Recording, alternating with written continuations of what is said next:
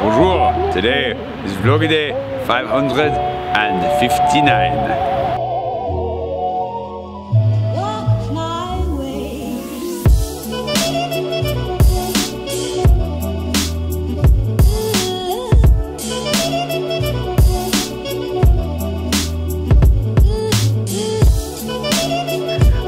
Good morning. I'm laughing because last night right before going to bed, I made the mistake. I don't, I've never done this. I don't know, well, I mean, I've done this before, that I, I imagined death right before going to bed, which is kind of a mistake when you take a moment to like think about your own mortality, you know, and like it'll, you'll die eventually. Like you're gonna come to the end of your life. It doesn't feel like it now. It doesn't feel like you'll ever die now. You're young, you're healthy. Like what could go wrong? So many things could go wrong, but not even thinking about anything like the, any pain or suffering, anything, just literally thinking about crossing that threshold into nothingness. And uh, you know, we we all we all have that we all have that innate human fear of of death. That's why we all fight it so terribly and all lose nonetheless. Not to start the day off on a really bright note or anything, but that's why I'm laughing is because it's just ridiculous. The funny thing about it was the reason I thought it was a mistake more than anything was like, oh great, like it kind of hit me. So I was like, well, now I'm gonna dream about this, and I actually ended up only dreaming about good things, about nice things. So that the, I guess it worked out. I guess I got like the the worst thing out of my head while I was still conscious, and then my subconscious is like, you know what? I'm just gonna play today. Good dreams. I slept well. I let myself sleep in because I haven't done that in a while, and. uh I'm probably just gonna stay home today. I'm gonna go for a run, if you can tell, because I'm wearing my Iowa shirt. So I'm gonna go for a run. Then I'm going to knuckle down on Instafreebie work. And I think today what we're going to do is talk a little bit about the apartment and the strategy that I kind of broke into a little bit yesterday and never got back to. You're watching yesterday's vlog, you might remember that point when I was walking towards Anvers and like there was construction on one side and some dude sandblasting a building on the other. And I just gave up because it was really obnoxiously loud. So we're gonna talk a little bit more about that today. We won't talk about death. Don't worry, that was just just laughing at myself. Apparently, I'm really in existential mode right now because I'm I'm I'm thinking all the way to like the great beyond. So, whoops. Let's just go run.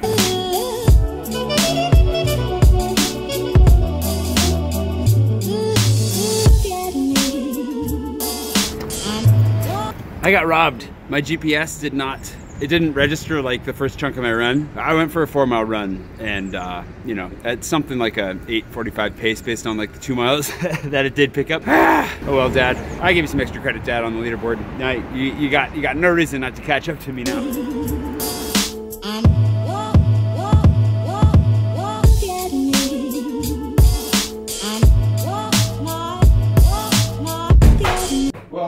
First things first, of course, trying to get that light fixed, changed. Here's the problem. Uh, I don't think this ladder is tall enough. I just got this from Jacqueline. I'm gonna give it a try. I'm gonna be on like the top rung, almost dying. So, you know, feel free to root for me. I have a screwdriver, but I'm not sure that the head is actually big enough to deal with this. So let's see what happens. Ah, is this thing just gonna like fall and hit me in the head is the real question. Ah. And I'm not worried about the screw hitting me in the head, I'm worried about the whole light fixture coming down. And not the whole thing, but the cover. You know what I mean? The whole thing's going apart and I just like Do not do this with your mouth open. Lesson learned. Or your eyes. Screw down. Oh, covered in dead bugs. Oh, the worst. Might have to do this when my face is all sweaty. That's the real question. Okay, other screw down. I'm just gonna try and do this without getting bugged. Oh, it's not so bad. I, got, I like literally got the worst of it. Sweat and bugs in the eyes. Ah. I don't know. This is a screw bulb. I think I'm gonna go buy an LED replacement for this. All right, I'm gonna like step outside and debugify myself. And it was the screw kind of light bulb. The ones in the hallway are the kind where you have to like push in and twist and they pop out. So now I need to go buy a replacement for this. Oh, and wipe the sweat out of my eyes. Ugh. I realize I only go to the light store when I've just gotten done running, but hopefully they uh, can forgive me for that. Because I don't want to take too long. I want to give the ladder back. I just want to get this over with. Ah, stinging. Ah. Let's go get a light bulb.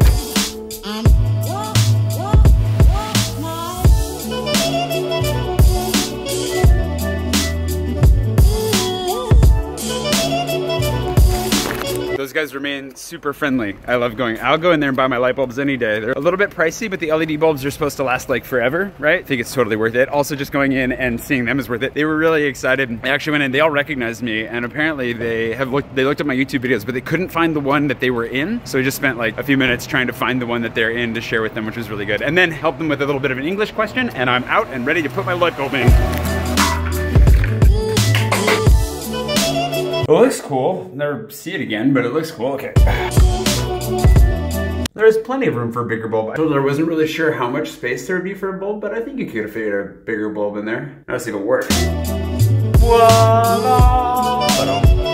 It's a very warm light, actually.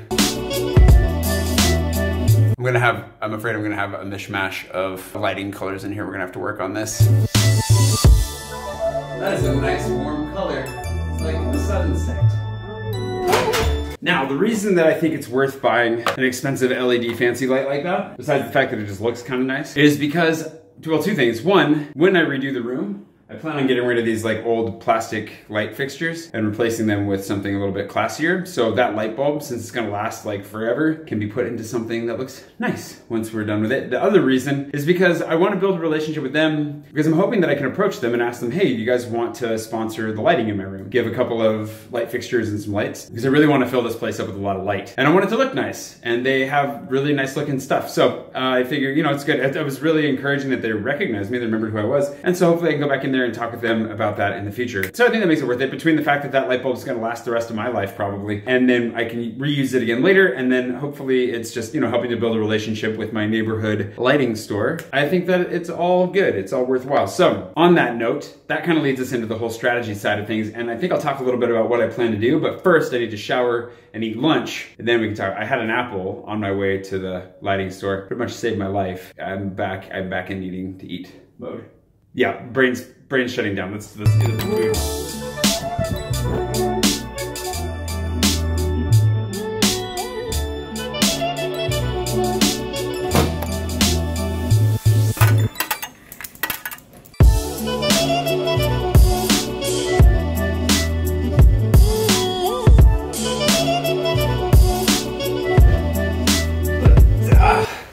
Down because I haven't washed my sheets in you know like two weeks, but also the duvet cover that usually covers this thing. Buying sheets in Paris was a huge struggle for me when I first got here. I had no idea what I was looking for because they don't do sheets the same way we do them at home. And I always bought the wrong thing. I figured it out now, but you know, that's why I have this extra large duvet cover that I just used to cover this. Because this floral print isn't exactly my style. Also, you'll notice it's hiding a second bed under here. So there are two beds here. It folds out and comes together, but it's like 50 years old, and this one is just like rickety as all get out. So I don't sleep in it because over time it kind of hurts you. It like I've said this before, it's fine for like a couple nights, but after about a month you start developing like scoliosis and you don't really know why. So that's why this is not happening, and we're gonna get rid of this bed, both beds. I'm gonna move them out of here. And that's what I was gonna talk about today. All this furniture that you see in here, pretty much, the exception of probably the table, at least for now, it's gonna get booted. I'll put it all down in the garage. We saw how much space we have down there. Save my shirts from this chair that's unraveling and the nails keep shredding everything. And then we're gonna turn this whole space into something new. Now, the reason that I was gonna talk about strategy, I figure I might as well just tell you guys what I'm thinking. You know, like with the watch situation, I don't ever wanna get sponsorships and not talk about it and not be open about it because for one, it's illegal to try and sneak anything. But for two, I'm only gonna work with people that I want to work with and I'm only gonna do stuff that I want to do generally or that I at least find interesting. I was talking with Nathan, my actor buddy, who uh, we need to introduce on the blog at some point, but he turned down like a job for McDonald's once and something else. For me, I like, I, I don't wanna eat at McDonald's. I, I don't really wanna promote McDonald's, but if McDonald's were to come to me and ask me to be in a commercial here, I'd probably say yes just so that like we could have that in the vlog because it'd be a really interesting experience. Not because I actually want to promote McDonald's that much. I guess that'd be a conversation, but you get the idea. Like, I think it'd be fun. I think that generally by keeping everything on the table and keeping everything open as I go, we can just do kind of whatever, experience it together, make a story out of it, and then maybe later be like, yeah, probably shouldn't have done that. But it's better than uh, just trying to like figure it out on my own and keep it sneaky. I have this really bad tendency. Sorry, I know we're going way off base, but I'm just trying to explain myself a little bit. I have this really bad tendency to try to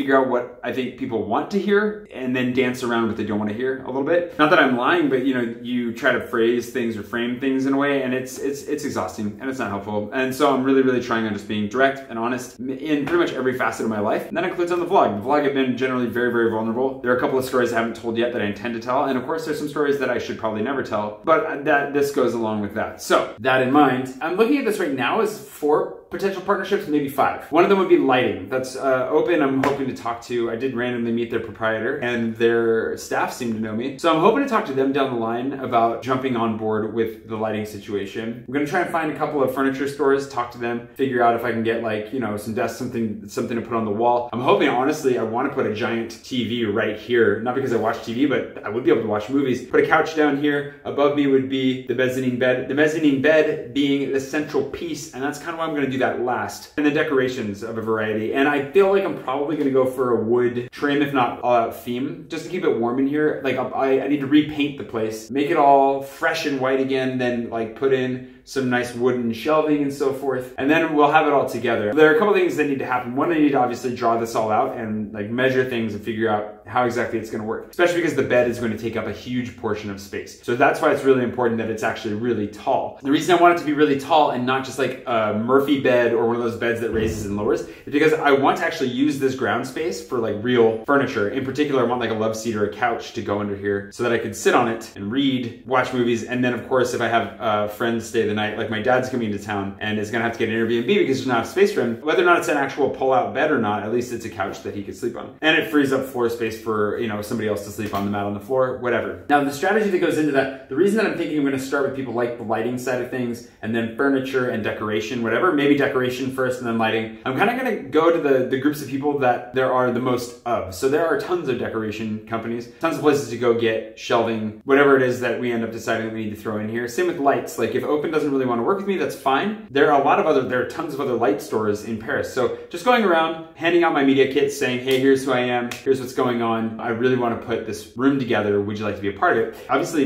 in vlogging, going in, picking stuff out, working with them, talking with them, and working my way up to the bed company because the bed company, they're very expensive, but they're also like the only company that does them. I think there are a couple of companies around, like you can get IKEA beds and stuff like that, but they're like rickety and you have to reinforce them. And I don't, you know, I, I, don't, I don't, I don't really want to trust an IKEA, 100 euro IKEA bed with my body five or six feet above the ground. And the nice thing about those other guys, the ones that I want to work with, um, Space Logia, I think is how you would say it. They're made locally in France. They seem to be very high quality and they custom build it, which means that it would be much more interesting video wise as well than just going to IKEA. Like going to IKEA and, and, buying a bed, anybody can do that. That's, you know, and if I have to do that, I have to do that. That's way less interesting than like, let's say actually going, talking to them, designing something, going to the factory out in Western France, like watching the bed actually get made, make a little trip out of it, you know, come back here, put it together. That sounds way more interesting to me as a video as well. And then of course, for all those companies, uh, they get, you know, all that extra time spent with me. And of course for the bed, I mean, the bed's gonna end up being in like every shot ever. Most of the stuff's gonna end up, look at you guys, you guys know my room better than I do. So that's kind of the strategy. I'm thinking I'm gonna work at that broad base first and just try to find the partnerships because I guess I didn't explain that. Because if I can find partnerships at the lower levels first, then it just kind of snowballs hopefully, right? So if I can find a decoration store that's down to work with me, then I go to a lighting store and I say, hey, decoration store is working with me. Would you like to work with me as well? And they say, yes, they'd like to work with me, I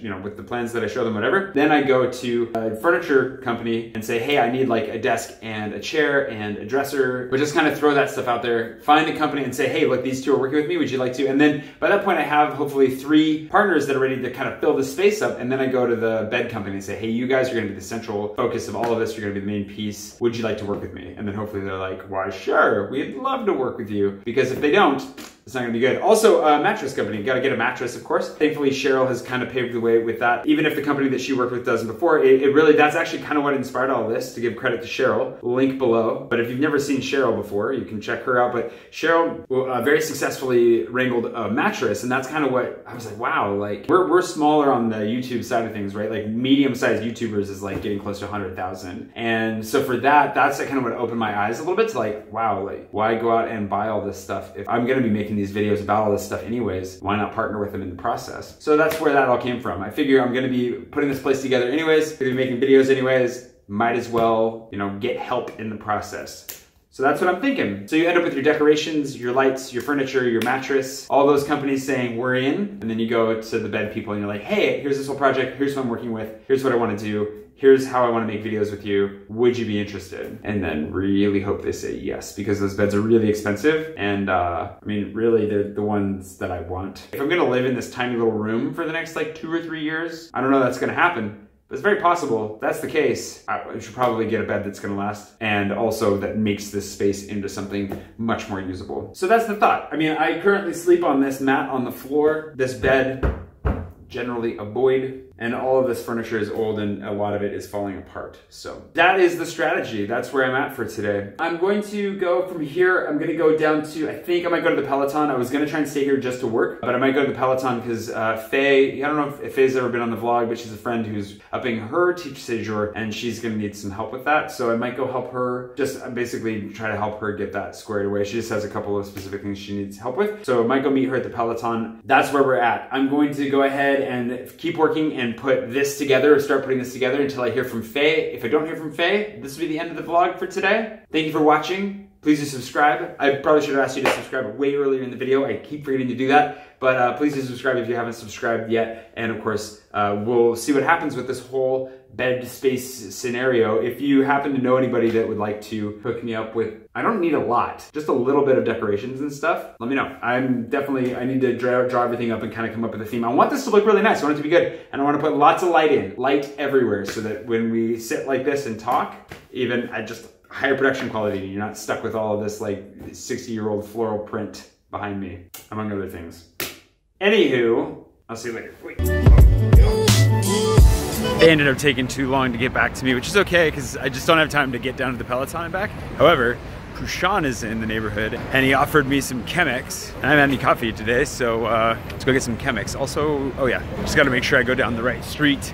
I'm not used to having friends in the neighborhood I can just walk to. We'll do that, do that, and then we'll get back to work.